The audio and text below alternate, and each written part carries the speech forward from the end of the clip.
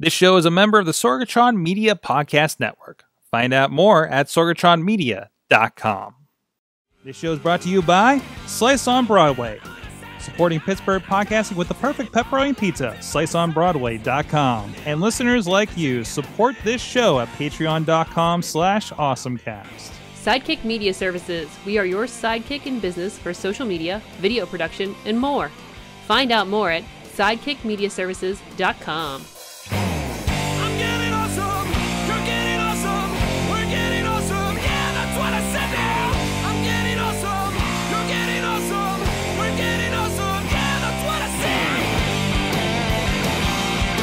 Hey guys, it is the Awesome Cast where we get geeky talk tech live from the Sorgatron Media Studios here in the Beechview neighborhood of Pittsburgh, PA. Myself, a video producer, podcaster here in the area, uh, collecting a fine collection of people. Some in the studio, some not, like John Chichilla. He's a gadget guru over at Big Bank International Esquire, joining us here from his secret lair in Dormont, PA. How's it going?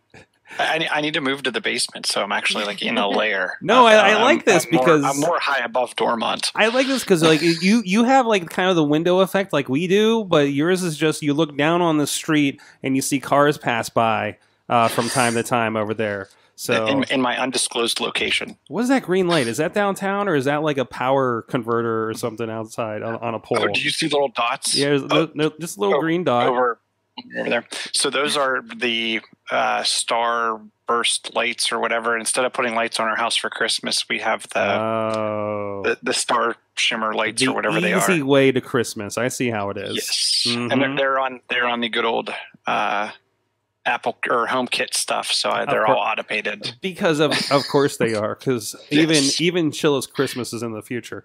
Uh, also with us in studio, not not from Newcastle, PA this this week. She's a sales and marketing director over at the Scare House. Katie Dudas, the Dudders. Hi, everybody. Hey, Hey. can you pull the mic a little closer to you, please? No. Love love the mic. Love Love, the mic. Oh, I'll sit closer to There it. you go. do the, the exact opposite. I'll move How are you doing this week? I'm glad Good. you you made it back, Yes. and you're not using a printer box as your stand again. That was amazing. I love that. Bre- that's a wonderful beast. That printer. Is it? Mm-hmm. Mm. Mm, one sexy p- printer beast. One sexy printer, Printer beast. beast. We got a show title early here. Sorry. and we got a newbie this this week, guys. Bri- Brian Conway joins us, the real journalist amongst us.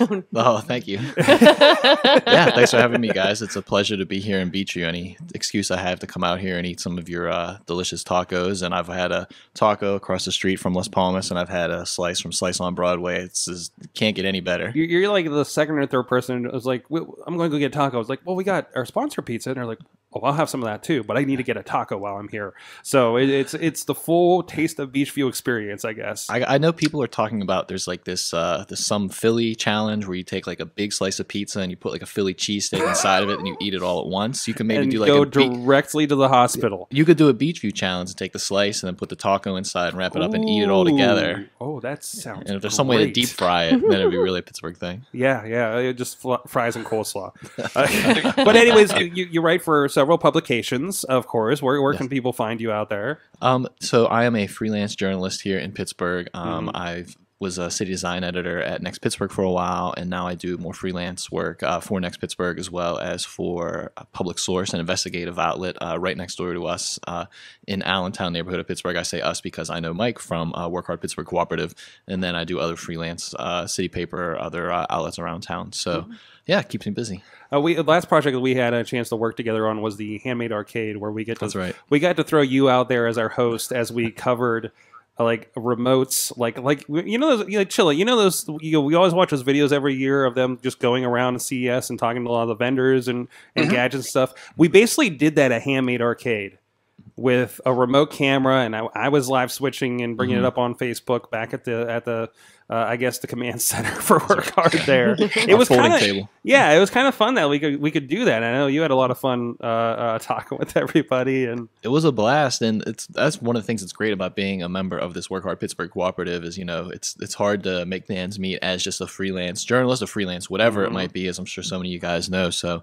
being part of this digital cooperative there's a lot of freelance opportunities that come come up that are fun, like this handmade arcade live stream that we did. I got to go around and talk to local artisans and vendors and see what they were hawking and learn about the uh, artisan community in Pittsburgh and see what they had to share. So it was a great afternoon. It was a lot of fun. Absolutely.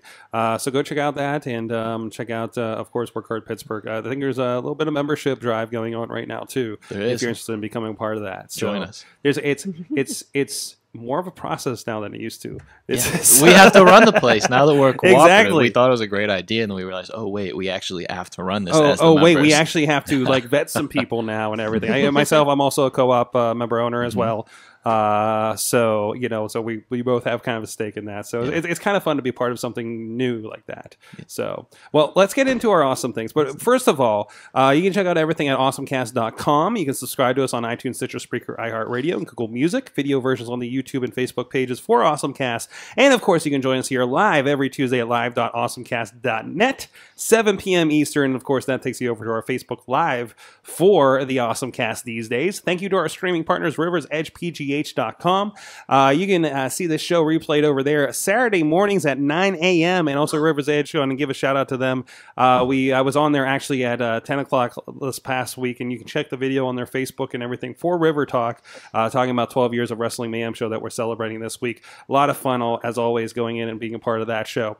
And also our friends at the 405media.com that are um, that are, are rebroadcasting us at 9 a.m. Pacific time, noon Eastern time, five days a week. I have enjoyed the last week just getting that tweet every day of double dongle dutters uh, popping up from our last show Yes. title and sharing that out. It just pleases me when we get a good show title. And also, I love that those show those titles are right next to like political talk on this network, and uh, I, I- hope I, I hope they enjoy the flavor that we've been bringing them uh, lately, at least for people that land on their site.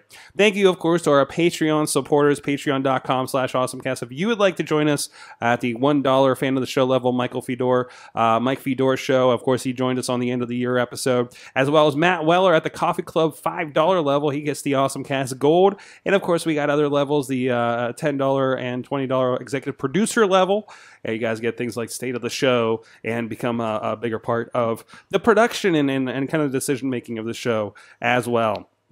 Again, patreon.com slash awesomecast. So let get let's get into let's get into our awesome things of the week, but I guess we have to talk about a not so awesome thing. Katie, what so like like this I, I I'm not gonna steal your thunder on what was written in the document. I'm so mad. My double dongle failed me. Okay. Uh, yeah, I, I've, I've learned the was value. it a double dongle with a French swirl? it's stupid.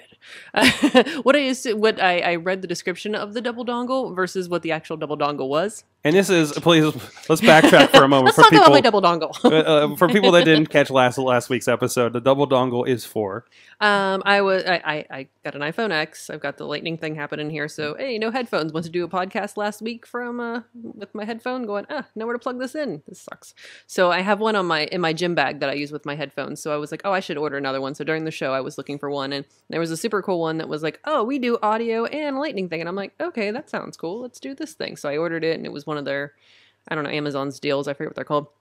So I was like, this is super cool. And then I get it, and the description made it sound like audio jack and lightning port. Actually, it's a lightning port splitter. So if you could tell me what I need a lightning port splitter for, I'd be So you can so you can plug in your converted so you can plug in the dongle that Apple gave you and charge the device at the same time. That does me no good. that's not the that's not the double you needed. That's the wrong dongle. You had, you, My you dongle had, bits. You had uh, you had two female lightning ports, and you needed a lightning. You needed a female lightning and a female. What is that? Eighth inch din. Audio. What do they call the headphone?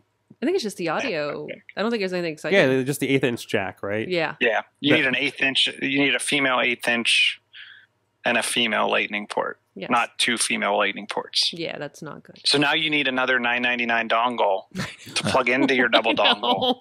I'll just like have, I'll come into the studio and you'll just see this phone and it'll be like blurp, blurp, blurp, blurp, blurp, Uh, it- it's like funny a 'cause family tree. I watched the uh, there was a Samsung commercial in front of one of the movies I watched last week, and and it was like the you know my friends doing all this with their phone, and then here's like me watching something with all the dongles hanging off, so I can do all the stuff I need to do, and just like looking longingly at the other person's phone, you know. So it's it, yeah. my my double dongle disappointed dutters. Wow. oh boy. Some major alliteration. I love alliterations. So Yes. so again, not so awesome, Yeah. but hopefully people learn to make sure they they get the proper proper dongle. yes. Out of this. Confirm that the picture and the words match. Oh, okay. you- apparently, I got the picture and not the words. Oh, okay. Silly me. and that was an Amazon. Yeah. Yeah, they get weird. I, I I've I've gotten um um uh hubs that insisted that they were like I was looking for a FireWire hub and it said FireWire, but it was completely just a USB hub.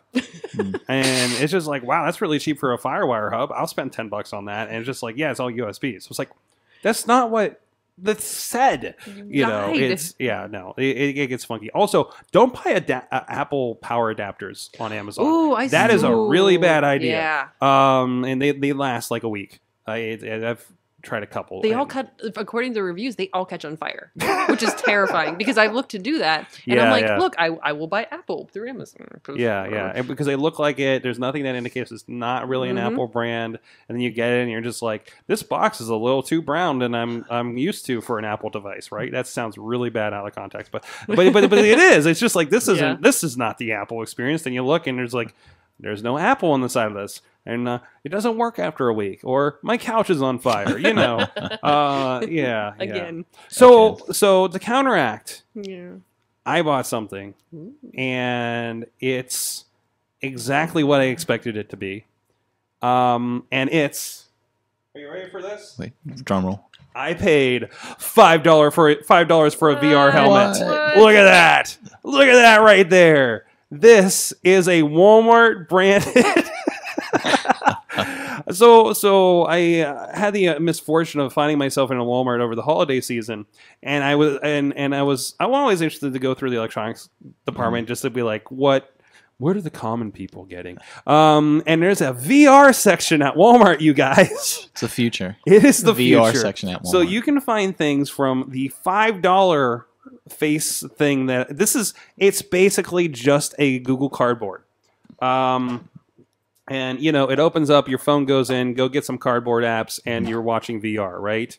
So you're you're good to go. Uh, my, my cardboard was starting to fall apart so i was like oh i'm due for something new.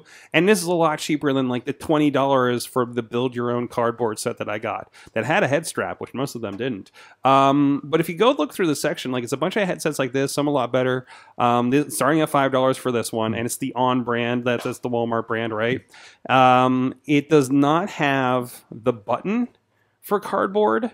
Like there's usually a washer and a magnet and like a little NFC chip, and that inter- that's your interaction for menus and stuff for cardboard apps. You don't have that, Hmm. so you can't play like full on like games that require any interaction other than a head move. Um, so that's okay. I paid five bucks for it. Um, but then there's like like 20, 30, 50 dollar units, and then they come with I think the big thing is that they're probably better builds and everything, but they also come with certain apps. Mhm. Like one for like thirty dollars came with like a first person shooter game or something, you know, something off brand, you know. And there's other ones that come with this little cube and they're doing like some AR stuff and everything.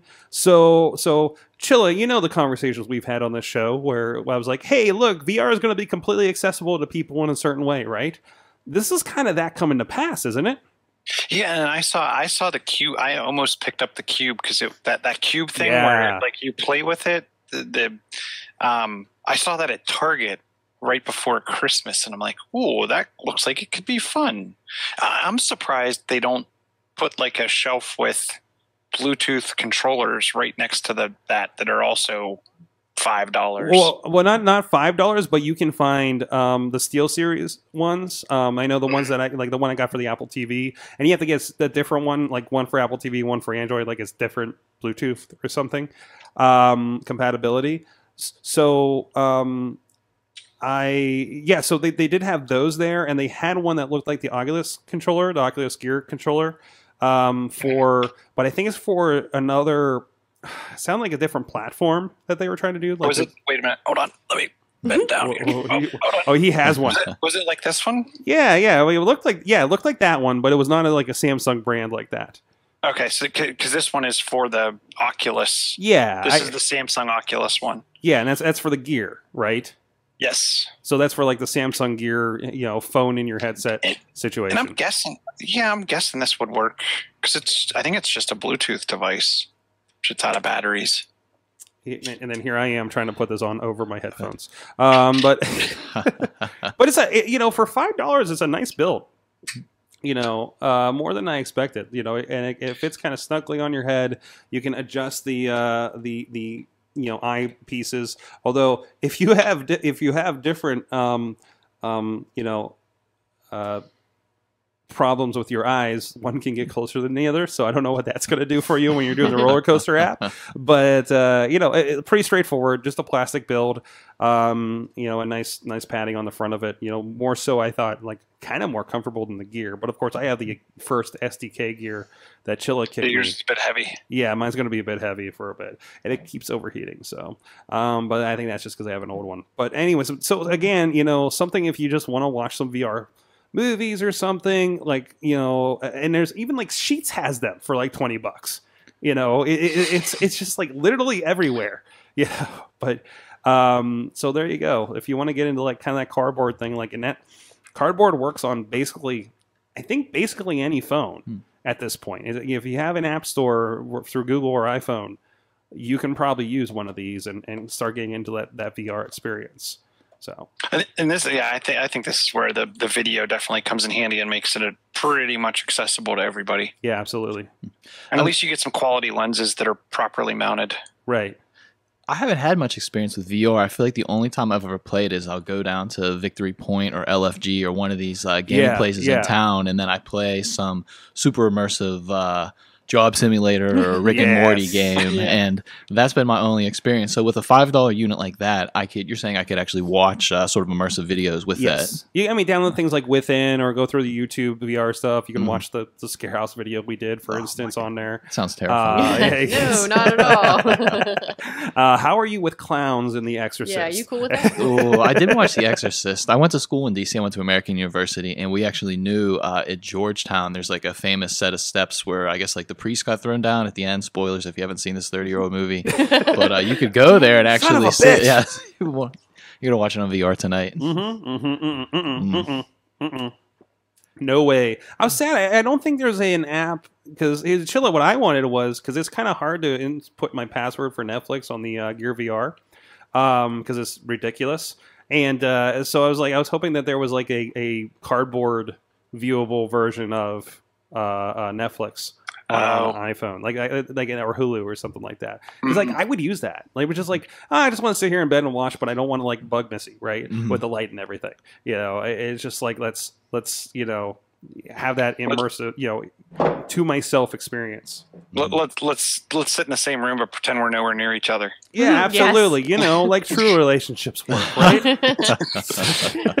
Need the space. yeah, exactly. So, but no, you know, it's kind of a step forward for that.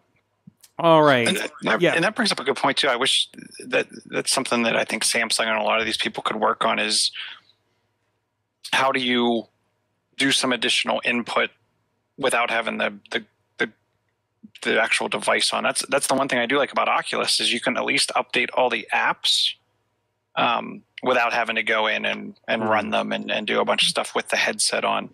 Hopefully they can get to some of that bare bones configuration stuff or being able if I already have Netflix on the device and configured, can it pull my credentials or whatnot right from there would be nice. Yeah, sometimes you can do that through like the Oculus kind of like companion app, but it doesn't Mhm. seem to do that with like Netflix and Hulu. So thankfully, I know my Hulu password. I was able to use that. but anyways, um, all right, Brian, what is your awesome thing of the week? So I am not quite that tech savvy, um, despite being a member of a digital freelance cooperative. Despite, despite being surrounded by it every, I mean, just the tech on the desk next to you by Rag and Haggerty, it has to be. it's overwhelming. I, he, he spends half the day with a VR headset on. I don't know what he does in there. Well, when you want to be by yourself, yeah, it's hard working in a co-op around people sometimes. I need to get like one of those big ostrich head pillows that just like people wear on intercontinental flights where they just block out all the light and the sound. Then you just go into this little ostrich head cocoon. I think I would get a little more work It's done your own way. personal cone of silence. Or I could get a five dollar VR headset. there you That's go. Hey, over at Walmart. yeah, but so like I just got um, my sister and her fiance uh, very generously gave me a PS4 for Christmas, which was like a very unexpected gift. But that sort of gives you a sense of like where I'm at in the scope of technology. Dude, I just got an Xbox One this past year and I barely used it. So. Yeah, so it's all new to me. So I was thinking, all right, what am I going to do? What's going to be new and awesome? And then I was thinking, uh, music. I listen to a lot of uh, rock music, specifically psychedelic rock, um, sort of uh, bands that emulate that, you know, late 60s Pink Floyd, Beatles sort of sound. And uh, one of my favorite bands are from Australia. They're called King Gizzard and the Lizard Wizard. I'll say that again. It's King Gizzard and the Lizard Wizard. And like late in 2016, they told all their fans, hey, we're going to release five albums in 2017. And no one thought they were going to do it. Everyone thought it was like, Like, a big full length albums. five full length LPs, and they released like one in uh, February, and then they released like another one in June, and then like one more came out, and one more came out, and then people were waiting, waiting, waiting, and then finally on December 30th, they released. Uh, it was called Gumboot Soup, and it was their fifth album of the year, and I highly recommend it. Uh, they were just named, I think, like Band of the Year by Consequence of Sound, one of the bigger music I'm blogs loving this music video I found for them. But it's this uh, frenetic seven piece from Melbourne, and they just play this like sort of loose, unhinged psychedelic rock. And each like the one album has more of like a jazz feel to it. One of them has sort of like that Grateful Dead psychedelic blues feel. It's great stuff to listen to. So I highly recommend it, and that has been on my playlist recurring recently. So yeah, that that, is yeah. my, you, uh, somehow, awesome somehow we we uh, uh, tripped the echo, and, and I think she was telling us about that band too. So, Oh, that's so funny. but uh, no, this this looks great. This is awesome. Yeah, they're exceptional. I think this uh, one of the albums that they released this year, they actually uh, like withdrew or they didn't claim any of the copyright claims that they could have, so it's like completely available to the public. So if you need any like new intro or outro music, you might be able to put some King Gizzard and the Lizard Wizard, Nice. So there. complete, it's a complete open, Creative Commonsy, you know, kind of thing. all that for one of them at least. The other four, yeah. I think you have to figure, you know, they still retain it, but for that one, I guess they're feeling generous. One of my favorite, um, so you know, I, I listen to a lot of my music on Spotify, and I just sort of assume that if a band's on Spotify, like that is all of their albums, and Mhm. so I listened to them on there, and I saw that there was like two other albums that I really liked that I didn't even know existed from them. So I was listening to that, and one of my favorite comments was uh, the top comment for one of their albums was "Came for the King Gizzard, stayed for the Lizard Wizard," and that's uh, definitely I think what uh, everyone else's experience. It pretty much as well. sums it up for you, right? Yeah, that's all you need to know.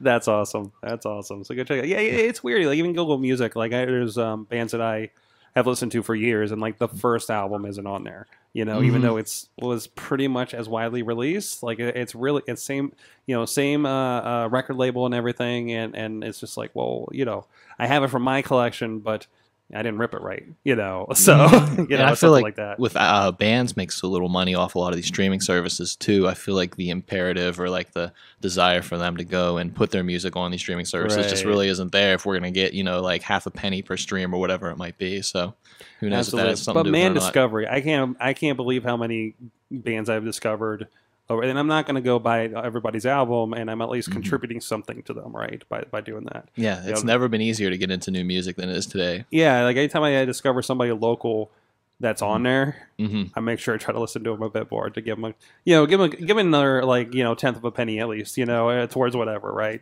you know eh, eh, eh, supporting something Something, yeah. yeah so that's awesome all right and tell us how chill is in the future what is your awesome thing of the week my awesome thing of the week, and it's something I've been waiting for for a while. Um, I'm, I was actually about to replace some of my earlier home automation equipment. Um, Belkin, the maker of Wemo smart home products, um, when they released their original uh, Wemo equipment, which I think consisted of there's the, one of the devices you could put uh, plug into the wall and then plug something into it. Um, there's a motion detector and then I actually have a light switch that's uh, hooked up for my back porch. Um, the problem was is they work well. They work great actually with uh, Google and Amazon. They do not meet the security spec for Apple HomeKit. Um, and people have been wondering for some time what are they going to do about this? Um, as part of ces announcements they have come out with a new hub. Um, some people may not like the concept of the hub because it is an extra device. You do have to plug it into your network. Um, it's a small um, uh, it's smaller than if you folded your cell phone in half over over on top of itself i mean it'd probably be about that big. Um, or the size of i don't know um, can't think of something that's about that that's about that size. Two packs of all Altoids um, mints. I don't know. Um, Well, it's been a while. it- It's been a while since I've had an Altoids Mints uh, uh, comparison for a technology device. yeah, um, four packs of matches. I, I don't know. Um, For you smokers out there um, or but it- it- yeah, arsonists. um, but it does plug into your network, so it's going to need a, a, a wired Ethernet connection. But then it will actually relay um, any of your HomeKit type stuff to any of your Wemo devices. Um, and the Cub actually only costs forty dollars. And I don't know how they got my email address and know that I wanted this. Maybe they're watching the show, but I got a forty percent off coupon in my email. Um, almost uh, at the exact same time they were making the announcement on Monday.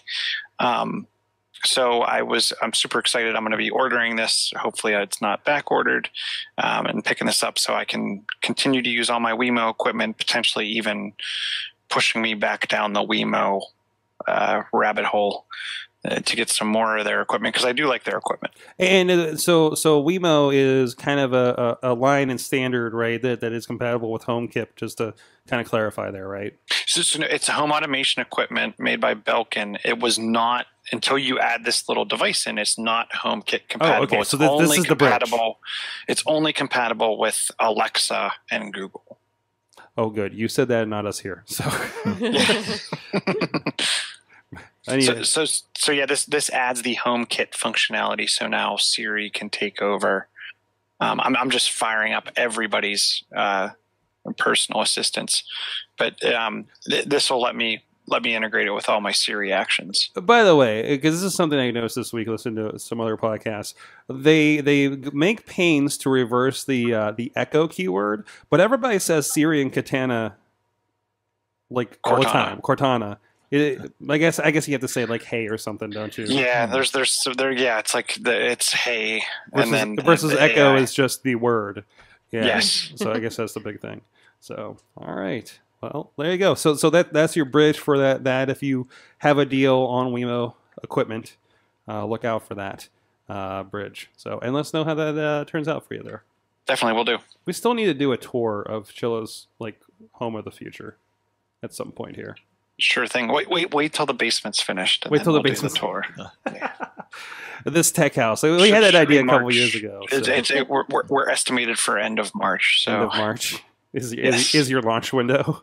yes, Jeez. All right. Well, in the mi- in the meantime, the only launch window you need for pizza is that delivery uh, window, and that's for our friends at Slice on Broadway. Uh, check them out, sliceonbroadway.com, supporting Pittsburgh podcast. Pas- blah, blah. oh no, I just went off the rails. Supporting Pittsburgh podcasting with the perfect pepperoni pizza right here in Beechview, right along the tracks here on Broadway, as we are, as well as in Carnegie, PA, PNC Park, home of the Pittsburgh Pirates, and East Liberty is their latest uh, is their latest uh, uh, opened place. I still need to go. I've driven by several times, but I still need to stop in. Where is that location in East Liberty? Their new spot. Uh, it's on Penn, I Hmm. believe. I think it's Penn and Elwood, maybe. No, no, no. Center and Penn, maybe. I get my rows mixed up over there. Let's put you on the Are you quizzing me? Are you quizzing me Yeah, right now? Is that I'm what's happening? fact-checking. You're fact checking As a journalist, You know, if I I click- need to fact check. If I click the damn link, I'll find out. Right? um, that's actually uh, six six thousand four Center Avenue. Excellent. There you go. As long as they're expanding across the city, that's the important thing. There you go. Waiting for that Allentown location, right? yeah, if, if they're listening, Slice Guys down the road, if you could hear us, please. And they do. That. Please. We could use another uh, Warrington location. There you go. I think yeah, the, the, you're losing pizza places out there. This one was like weirdly out or something like that. yeah, they? they're open like four hours a day for Yeah, four days yeah. a week. Yeah, we need we need pizza places with real hours and good pizza in Allentown. Because there's a lot of people in Allentown that could use some pizza. There's a lot of meetings that could use some pizza up Mhm. there. Just saying, friends at Slice. Hey, tell them if you want them in Allentown or whatever neighborhood you're in over at PGH underscore Slice on the Twitter and uh, check them out on Facebook and Instagram as well. It's fun to see their little creations uh, with dough. So um, they made a Hello Kitty pizza Yes. and dough doll for uh, for Katie's birthday at one Mhm. time. That was great. They're awesome. Yes. All right, let's get into some other awesome things going on. Uh, first of all, uh, a shout out to our friend Brian uh, Crawford over at the River's Edge. Um, because I didn't, I don't know if this is the same one that I've seen before, but there's going to be a Pittsburgh VR meetup coming up. So shout, an event shout out for you guys locally here. It's going to be over at Ascender. I've been over there for some events, and uh, we've actually we've talked to them over at Awesome Chat. Uh, so it's a really cool space, if nothing else. And uh, you know, it, I've attended one of these over at Looking for Group, and it was great. To, you know, at that point, it was a bunch of um, developers and enthusiasts and, and everything. Like one guy that we know was an app developer, and he got like a he just came back from a Samsung conference, and they had given him like a Gear VR and a phone, Mhm. so he could start developing for it. You know, so uh, you know th- those kinds of things. Or if you're you know want to check it out, I think they're going to have some on hand as well. Uh, they're actually going to have Ralph Vidu- Viducino, Viduccio, yeah, let's go that way, from uh, Carnegie Mellon there uh, to give a brief talk about what's happening with VR at CMU's uh, ETC. Um, so that's going to be worthwhile, and some people from Schell Games. Uh, so this is this is going to be a really cool event for you guys to go t- to. It's uh, January twelfth at uh, 5.30 geez i need to see if i can swing out to this thing uh, at this point uh, so go check it out uh, and uh, look that up on your facebook events just look for the pittsburgh vr meetup and you'll find it out there I'm gonna show up with my five dollar Walmart VR headset, and you're just gonna laugh me out of the place. just be like hey guys i'm one of you you know you What? now what you do is what you do, you turn this into a fashion statement, right? You just wear it on your head and walk in with it, right? You're like, "What's up, guys?" You know, like I You mean, look like one of the Ghostbusters. yeah, like one of the Ghostbusters, exactly. So, um, They- they, they are premiering a 360 music video there, so ooh, Ooh. definitely make use of the headset. Maybe it's King Gizzard and Lizard Wizard. oh, if only. Like, I- that video, that video I saw, if that thing's in 360. That's that would be great. That seems like the perfect kind of thing. Sick. I- I'm interested to see the Schell Games because one of the games they're they're uh, demoing is "I Expect You to Die." Oh, I played that. That was actually the first VR game I played over at Looking for Group. Oh, yeah? Um, yeah. Wow. You're in a car. It's basically a, a puzzle escape game. You're in a car in a plane. It's like you're a spy, right? You're like you're James Bond, and Mhm. you've been captured and need to escape before um, it fills with gas, maybe explodes, or they dump you out of the plane. So that's Oh. like a Bond villain quote. The I expect you to die, Mr. Bond. Yeah, yeah, exactly. Like there's like a thing that comes on the old school radio and says, "I expect you to die," you know. so yeah, no, it's it's pretty cool. It's pretty cool. Um, so yeah, go check it out. And thanks, Brian, for uh, passing that along as well. So, um, Chilla, I know you're keeping an eye on CES. Yes, a few things have caught my eye. Um, I don't know which one you want me to talk about. Whichever one has got caught your eye uh, uh, the most. So, so you have the the Lenovo one. So I'll do I'll do the 4K Android TV. So Westinghouse announced a couple new 4K TVs, all coming with Android um, built in. Westinghouse doesn't. I'm not going to lie. Westinghouse doesn't make the most beautiful panels in the world. Um, the person that reviewed this actually at CES said that the picture quality was he called it nice and he was fairly impressed. Um, it won't blow you away, um, but the colors were nice. And the detail was great, um, and the build quality was was good. Um, the the key to this for me is it runs Android, so you have the entire Android. Um, Google Play Store at your disposal. Um, Google Assistant is built in. It has built in Chromecast functionality, three HDMI ports, all for the mere price of $350. Jeez. Um, it is it is a 43 the the, the $350 version starts at 43 inches which is plenty enough room for or plenty enough size for any of my spare um, bedrooms or guest rooms. So I love, This is- and, uh, so now we know Chilla's standards. And we're like, well, 43 is good enough for the extra TV. I mean, it's like, that's my TV. Period. but but uh, so this is going to be coming out in Q3, so I'll definitely be picking up um, one of these unless something else comes out that's comparable. I've had my eye on the TCL. I think it's TCL. Um, the uh, TVs they have one that was 450 for the same size 4K, but it did uh, ultra. It did the UHD. The, it had the Dolby specs and, and, and some additional stuff on there. Mhm. Or did I'm sorry, it did the uh, HDR, had the additional color spec for HDR. Um, but I like the idea of this with Android versus the TCLs do Roku. Um, so I'd much rather have the the Google Play Store at my disposal. hmm So, so along with that, while we're talking about the next TV or three you're going to buy, Chilla, uh, Katie has a recommendation for you, actually. yes. So, of what what you should be picking up. It's a TV What, for above is your it, is it stove. going to be more than three hundred and fifty dollars? Yes, it is. Is there seriously for this thing? I have no idea. They don't have a price on it. Okay. I'm assuming it's over 350. Okay. So, so what is this? Wow, that's on the front of a microwave. No, it's it's just like a TV. Yeah, it's like a TV above your oven because that's where your oven should you look at this thing. Okay. So explain explain what I'm this is for the audio people here. Yeah, it's just yeah, it's it's so apparently they uh, GE's assuming that you know a good spot to put a television is right above, literally right above your oven, and it does look like it's built in to. Um, I don't know if there's a microwave behind it. I can't. I don't think it says anything about it, but it looks like it's got the range hood where you would you know the ventilation part of it, but it's a 27 inch screen uh, that you, you can use your voice. You can gesture with it apparently and um, yeah you can watch some things on it and yeah, this is just fun i don't know video calls Does it say? D- Does it say what what it does it run any like? Does it run some kind of version of Google like like Android? Because what where I'd be interested in this too is think about it. You could have your recipe Mhm. of what you're cooking up there with a timer and some other stuff.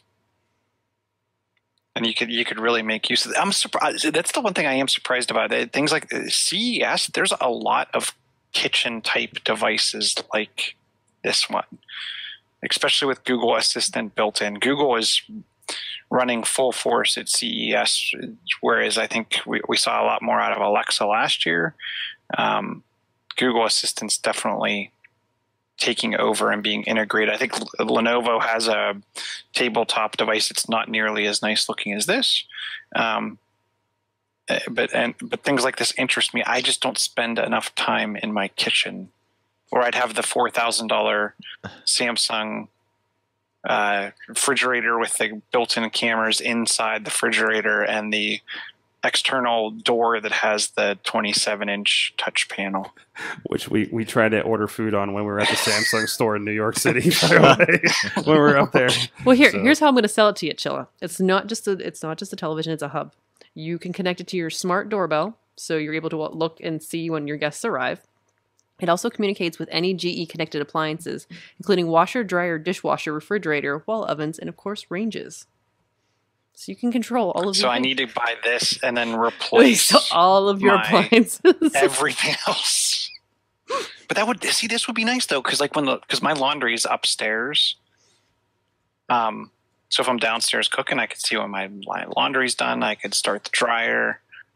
I like this idea. I, I'll take two and build a kitchen. See, see, I, I said it'd be multiple, didn't I? So there you go. hey, when he's the gadget guru, you know he There's a needs down, to. there's a downward facing camera, so you can do your own personal cooking show. oh, nice. Oh, now everybody's gonna get a cooking show. Uh, I bet you it streams right to YouTube too. exactly, man. Gee, I, I would never think of GE as doing something multimedia. this is like pretty this, high techy right? techy for them. Yeah, yeah. I mean, I'm sure they've got something going on. They're just never They- at the forefront. They've been going seems. after this market. They just came out with new. I think some new light bulbs that are that are Wi-Fi enabled and maybe even have a speaker. Integ- yeah, they they had the speaker integrated um, dome lights um, and they had so they had a bunch of stuff that they announced last week before CES. Um, so this just adds to that. I, I'm, I'm impressed with some of the older school companies like GE moving forward with this kind of stuff. hmm I really like the the picture that they have that that uh, is at the top of that article. I, I really like kind of that layout diagnostic graph chart kind of thing where you could see looks like you can see one of the web cameras, you can see what the temperature of the house is. Um, as the appliances up there, I, I like this. This old tech house with Chilla just got a new install. Well, Chilla, while you're making all that food, while you're doing your video show, and you're calling grandma, I don't know, whatever you do in the kitchen with this device. Um, so Samsung, maybe maybe this is your your thing for maybe getting a Samsung uh, uh, fridge as well. Uh, so Bixby, which is their, I guess, Siri kind of thing over on Yes. Samsung, right? Uh, so they're going to be uh, teaching Bixby to count the calories in your food. Now, this is something, it, it- it's going to be part of Bixby Vision where you take a picture of something and it, it kind of looks at a food, identifies it, and, and kind of, you know, does the general, hey, this is an apple. This is what, how Mhm. many calories an apple generally is. So it's going to be generic food data. So it's not going to be spot on, but at least it gives you an idea, right? Uh, for things. It, it's not really ready for prime time, but also you know the Samsung has also been talking about how they want that that Bixby virtual assistant to basically be on every product it makes. So I'm thinking that means fridges as well. Uh, so or or stoves or whatever the case may be, right? Because they make they make everything appliances, don't they? So Yeah, they make they make dishwashers, they make washer dryer, And they then- make refrigerator, and they then make your, stove. your Samsung television is going to judge that fast food you got to watch uh, the Super Bowl with, you know, right? So your, your, your phone's going to buzz and say you need to get up and walk around more often. Yeah, exactly. so, I mean, they could do the ecosystem. You know, if, people, are, I mean, I think Samsung is really like how everybody used to buy Sony, you know, 30 years ago. Uh, that they could kind of build around that for sure. I'm curious. With the, I know that things are going towards the Internet of Things and everything's interconnected and can talk to each other, but is it going to come to a day when I'm not going to be able to buy an oven without a TV screen built into it? Um, I, I bet you that, that those devices. I, I think what this is going to do is just drive the prices of those devices way, way, way yeah, down. Yeah, yeah. Hmm. Um, You can pick those up at Dollar General in the future because it'll be that low, right? Because there's always going to be people that you know. I still, you know, you know, remind there's still pe- still people that do not have significant internet to take advantage of things like this, Mhm. right? Let alone things like Netflix. Um, Mhm. And those people still need to be served, you know, because there's there's people like that that are they're out in the middle of nowhere, have the money to spend on things like this, but there's just no access for them. hmm So I, I think I don't think it's going to be persistent, you know, but I don't think any of this stuff ever will be because somebody out there still got a flip phone. Somebody out there still got just a landline with a rotary. And one thing I will say about Bixby that I really liked and actually got me using it was, um, just as an aside, real quick. So on the Samsung device, you can hold down the home button area, the the soft button for home, and it brings up Google Assistant. But you hold down the button on the left side of the device, and it brings up Bixby. Mhm. Um, when you go into the Bixby interface, they've kind of uh, gamified it a little bit, so you can earn points based on what you've done with Bixby. But it kind of takes you like you get ten, or I think when I did it, I think I got five points just for going through the tutorial.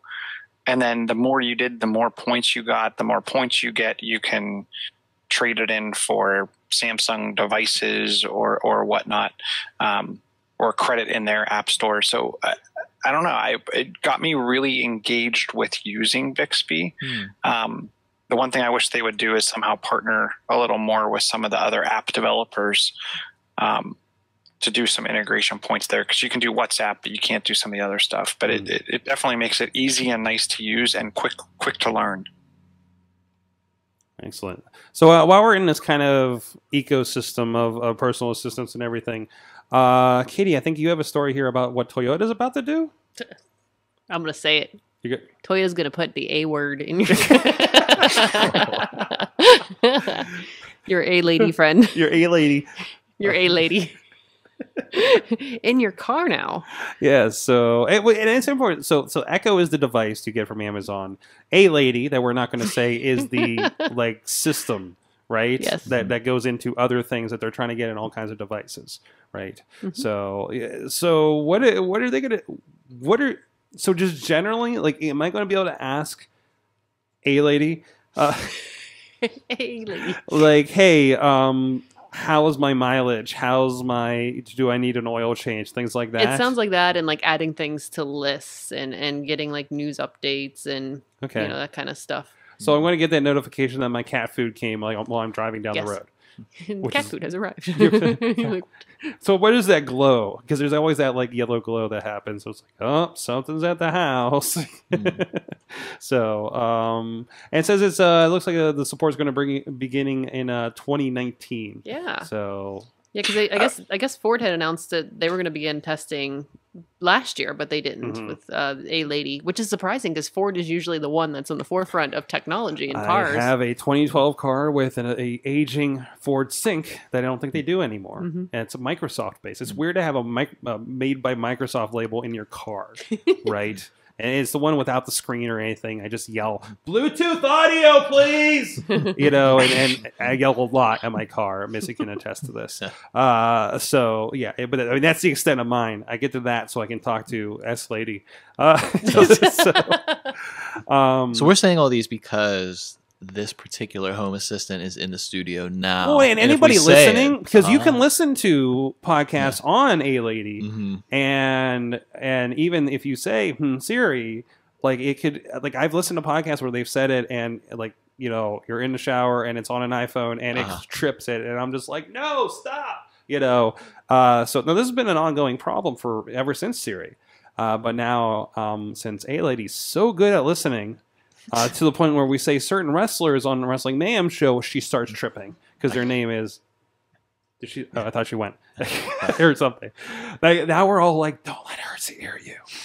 I really should just unplug her during the shows. But anyways, it's kind of more fun this way. Now with your now with with her and Microsoft powering some of the cars, it can simultaneously blue screen and get your request wrong. the Oh whole my. car just goes.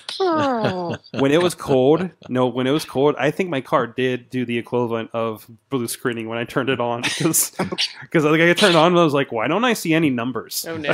like anywhere. This is not okay. so, The the one thing I'm wondering how they handle this, and it kind of bums me out. I, I wish they figured out either let you somehow tether your car to your phone or do something. Is a lot of these then require an additional over the top monthly fee because you're going to have to Right. pay. You're going to have to pay for it to be connected. Um, I haven't seen where any of them actually. uh, The ones I've seen don't come with a data plan per se because it's just shooting text uh, voice to text and text to voice back and forth, so it's not a lot of data. Um, I'm guessing the cars that are also Wi-Fi hotspots have some kind of limit on your data plan, but uh, I'm guessing this is. I guess if you're buying Alexa or well, is it uh, Lexus Enform?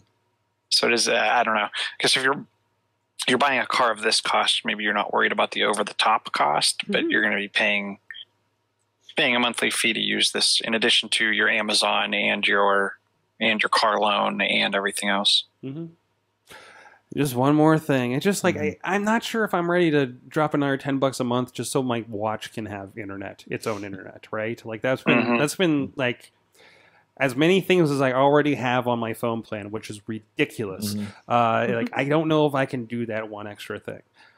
Uh, but Chilla, one thing I know that's been I, I think you've been looking forward to, and we were kind of hoping was in that new iPhone, and, and it didn't make it out. But a China company uh, named Vivo um, actually has put out a phone that, uh, or at least it was, it's at it's at CES, so put out is maybe relative, but they had a hands on over at uh, the Verge. Uh, it is the first active tested in hands um, fingerprint reader on screen. So, eight months ago, I would have been super excited to read this, and I know that people view me as the Apple fanboy, so I'm going to turn this over to Dudders and ask for her opinion. Oh no. Um, So, uh, Katie, how how much do you miss your fingerprint sensor, and how much more do you enjoy, or maybe maybe you're not using Face ID? Um, how much more do you enjoy uh, Face ID? Okay, so this is a trick question because I never had fingerprints. Oh, Really? So, a big loser. And you had like a 6S, right? I had a six. Yeah, six, and it had fingerprint. I thought so. Maybe I don't know. I never set it up if I had Okay, it. okay, maybe okay. But it's okay. So I do the the facial uh, recognition because I think it's cool, and I do talk to my phone a lot. But like I find, and I, and I've seen a similar complaint online with it is doing things like if you're not that I'm using my phone when I'm driving, but if I'm looking at you know if I have Waze or something up on my screen and I close off my screen to get it back on, it's not. I can't get the angle of my face to it's not where it's right in front of me. Mm. So I'm like trying to put my password in awkwardly over on the side here. So you have to do that more than you did before. Yes, because that's Okay. kind of I find that to be a pain. Versus before, it's only a problem when you had gloves on, yes, right? Because it, like I got the gloves that you know are still sensitive and will work on the Yeah. screen, Mhm. but that doesn't help when it's locked, and it's too fumbling to try to po- post it in with the, the little you know ends of my gloves that Mhm. never line up right. and, and, and maybe that's because I don't drive nearly as much. That's where Because he Waiting for takes that good old tea. when I wait for the train in the morning, it's so nice not to have to take off my gloves Yeah. to get into my phone. Mhm. So, so that's where, and it it's it, it took one time of me having uh, uh, my my hat on um, in the morning to train Face ID to, to continue to figure out it was me. That Mhm. it, it it's just I, I don't know. I don't want to go back to a fingerprint. No, I don't blame you because I this I love I love the fact that I just pick it up and it's like I hate you and then I love the notifications and things like that and it does not recognize me when I have a piece of pizza hanging out from my mouth though. I, didn't, I realized that the other day. I was like, does it know who I am? And it's like, no, who are you? So so basically, we solved the problem of having a larger screen and taking that away, but with without solving the problem of the screen s- sensor, the the screen uh, fingerprint sensor. So which actually is a forward moving technology. Future. Yes, yes, your I- I do- future I do, think it's interesting how they're doing it because they're they're peering through the gaps in the pixels in the Wow. OLED display. wow. Are they doing this with lasers? There has to be lasers involved, right? I don't know. Lasers. Um, it's- it's next thing. I don't know. I don't know how they're. It just says optical sensor. Either way, this is but but now this is a technology that while starting on the Vivo phone, I realized off the top of my head, I was like, oh wait, Vivo is what my TV brand is.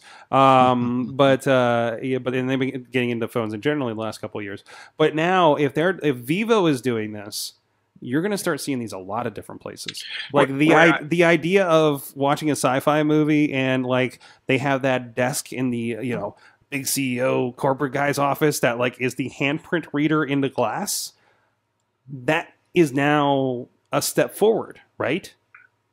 Where, where yeah, where I want this is in my iPad, you just want to put your hand on the iPad to read. Uh, or just the finger because yeah, and because the I don't think I would like if they could do a full glass iPad like edge to edge hmm um, screen. then how are you going to hold the iPad? Well, that's where Face ID has a problem. So when you authenticate with Face ID, you have to hold the phone portrait. hmm It can't be in landscape mode. Mm. Um, so, and that's where I find myself with my iPad constantly rotating it depending on what I plan on doing once I authenticate into the iPad. Mhm. So, this is where I would like this and then the full edge to edge. And they figured it out with the phone. I mean, I have no problem not accidentally touching parts of the user interface Okay. and it's edge to edge. and it's no problem. Um, e- even if they throw face on on uh, Face ID on iPad, like that'll. it- well, that's what I'm. So as long as does, problem, as long as they fix the rotate problem, as long as they fix the rotate problem. Mm. and that might be a two 3.0 that they'll be able to do that too. So, But just just put this in there for now. I'll be Mhm. totally happy. All right. Uh, well, on that note, I think it's time to wrap up the show here. Uh, first of all, we need to welcome back uh, producer Missy's back, keeping my ass straight on the show. Yay! She just got in from a flight last night, and boy, are her arms tired. Yep, I did that. Uh, Shaking her head now. she's there to disapprovingly look at my con, uh, you know, uh, uh, you know, not like my comments. so, so good having her back and helping out with this uh, crazy little show we do. Brian Conway, thank you so much for joining us. Thank you so much for having me, uh, guys. You can follow me on Twitter. It's uh, Brian Conway. That's Brian with one I and Conway with five Y's at the end. Because the internet. because someone took my handle years ago before I thought of it. So now I had to get clever. There you go. Uh, any any articles we need to be looking for uh, in any of those wonderful publications? Um, I have some pitches out right now. There's a couple stories I'm working on for Public Source, uh, Mhm. for Next Pittsburgh, and then some other outlets in town. But uh, just stay And, tuned. and again, Public Source a a um, uh, nonprofit Investigative. investigative. They're doing the deep dive stories that other people are not doing. Yeah, they are one of. I mean, they're the only exclusively investigative outlet here in the city. Uh, there are some good investigative reporters at the big dailies, but Public Mhm. Source, this is their bread and butter, and they keep. I mean, every story that they do just blows it out of the water. I know that they just had a piece. Uh, about greenwashing in Pittsburgh and how the city's sort of touting its environmental credentials, but maybe it's not quite as green as they thought. And that was actually picked up by a national publication, I think City Lab, and they referred back to it. So public source is doing, like you said, the deep dive into various uh, very important city issues, whether it's gentrification, whether it's uh, lead and water, whether it's uh, you know whatever it might be. They're the ones that are sort of really going in and telling you the full story behind what's happening. And um, and of course, I also work with them. Actually, I'm working with them uh, in the morning, and we're doing a stream at noon. There's going to be an interview uh, for that. We've done great things with uh, uh, the streams uh, and, and deep interviews about you know a lot of these topics and mayoral candidates and everything. Uh, so a really good group. And again, uh, please, if you're interested in that kind of thing, one, be ready for deep reads. this is not quick blog stories like on the Verge or something like that that we we talk about on this show. And uh, and and and please support them if you're interested in in that kind of uh, journalism, especially in the Pittsburgh area too. And it's tax deductible because they are a There you go, So there you publicsource.org, go. check them out. Bonus. Katie Dudas, she is Kate Dudas on the Twitter. Yes. She is. Uh, is the Scarehouse uh, podcast on hiatus still? No, it'll be back this week, and then we have one for next week. Yay! Yay, podcasting. yeah, so I'm heading to New Orleans tomorrow for a few days for HauntCon. So I'm a, I'll probably I'm excited to do a Facebook Live with the new phone to see how that guy looks. Hmm because the old one looked kind of I've been taking pictures at like poorly lit wrestling shows with my success. It's like, oh, I need to get this like created as soon as I can. I do like it. yeah, yeah. So I'm seeing your pictures. I was like, oh, I need to get a new phone. You're seeing my pictures, which look like crap on my screen, that look amazing on every other. Oh screen. yeah, yeah, yeah. They look great on the 6S, you know. but then I watch a movie on the 6S. I'm like, oh, this looks fine enough. Then I like take a picture. It's like, mm, nope, nope, not okay. Ah, boy, Chilla, John Chichilla on the twi- or Chilla on the Twitters. Chill on the Twitters. Josh Yes. Chill on the Facebooks. Yes, all your gadget. If you're interested in taking your home to the future, ask him questions. Yes, definitely. So awesome. And of course, check out everything at SorgatronMedia.com. A lot of great podcasts like the Scarehouse podcast, the Awesome Cast, Wrestling Mayhem Show, Comic Book Pit. Shout out to them. They were actually here in the seat. I let other people sit here and do podcasts. I swear. Um, I can vouch for it. I saw it. Yes. That's true.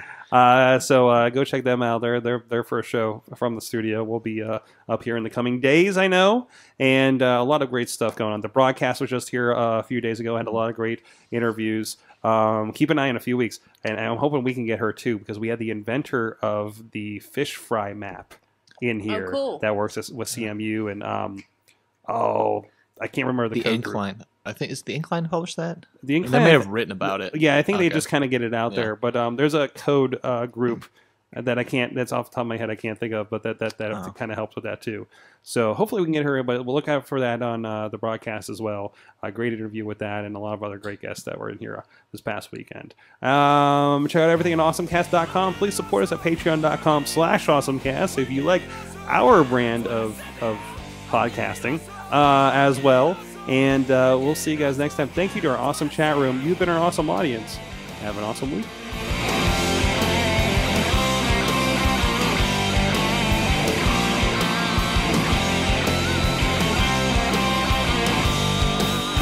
This show is a member of the Sorgatron Media Podcast Network.